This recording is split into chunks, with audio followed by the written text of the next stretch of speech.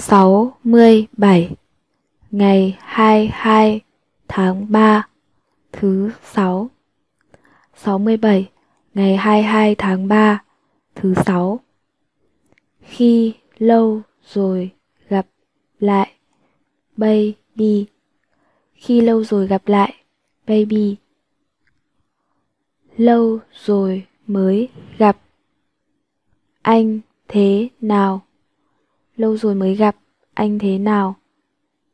Kết hôn và có hai baby rồi. Kết hôn và có hai baby rồi. Em vẫn đang chờ anh. Em vẫn đang chờ anh. Lâu rồi mới gặp. Lâu rồi mới gặp. Kết hôn kết hôn. Baby baby vẫn vẫn.